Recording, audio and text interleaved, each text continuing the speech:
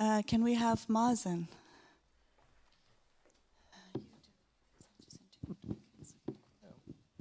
So for the third award, my colleague from Free Thought Lebanon, Mazen Abou Hamdan, is gonna hand in the award and say a few words. Good evening, everyone. It's difficult to exaggerate the impact that Professor Dawkins has had on promoting free thought around the world. In the Arab world alone, millions of copies of his books have been downloaded and hundreds of millions of YouTube videos have been watched. This was not only important to change our minds about one particular opinion.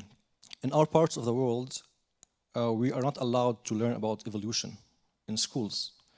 So even those of us who were skeptic about religion, uh, we were sort of caught or imprisoned. We could not escape, for example, the argument from design. It's true that we could think that religion is unfair to women, but the eye is so complicated, there must have been some designer.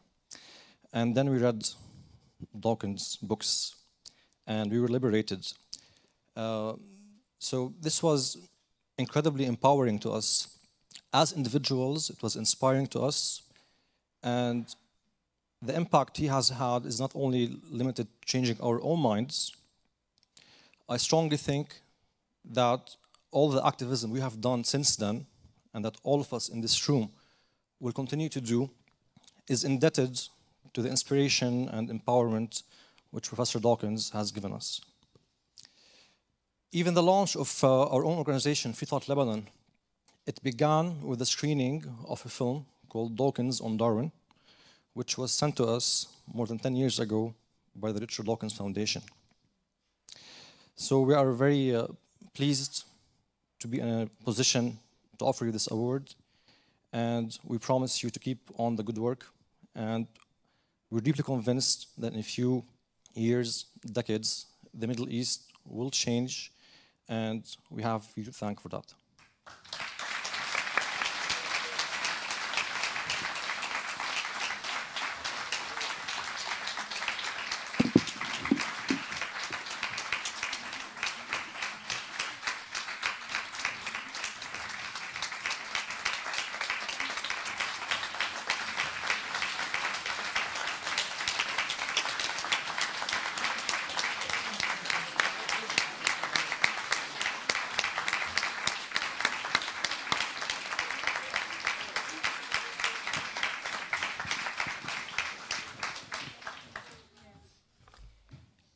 I am hugely moved and deeply grateful to receive this award, uh, to receive it from an organization of ex-Muslims, two organizations of ex-Muslims is really means a tremendous lot to me because I feel that the Islamic world is the, is the place in the world that we really do need to send our message. And uh, I feel humbled to be in the company of the, my two companions today.